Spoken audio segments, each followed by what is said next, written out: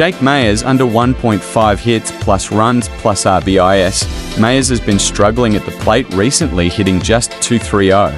This season, in his last 10 games, he's managed only 7 hits and 3 RBIS, making it likely he'll stay under this prop. José Caballero under 1.5 hits plus runs plus RBIS. Caballero has had a tough stretch, batting 2 for 0 this season.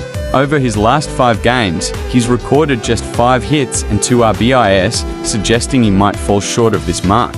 Xavier Edwards over 7.5 hit a fantasy score. Edwards has been on fire, boasting a 357 average. In his last eight games, he's hit safely in each, with 15 hits, 13 RBIS, and 12 runs. His recent form makes the over a strong play.